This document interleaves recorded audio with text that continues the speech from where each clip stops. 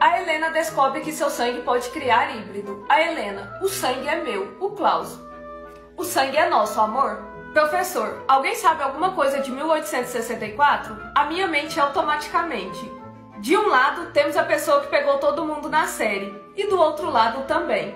Vocês já perceberam? O Kai e o Klaus eram as ovelhas negras da família. Isso foi um dos motivos deles serem o que são. O Klaus, eu não vou a nenhum baile. A Rebeca, a Caroline vai estar tá lá. O Klaus.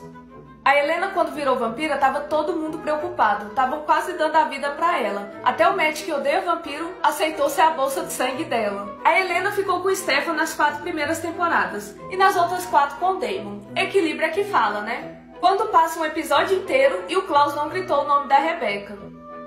Tão bonito o casal que dá vontade de falar. Gente, licença, eu quero namorar junto com vocês. Se você assistiu a sexta temporada de The Vampire Diaries e não torceu pro Kai e a Bonnie ficarem juntos, me desculpa, mas você não merece a minha confiança.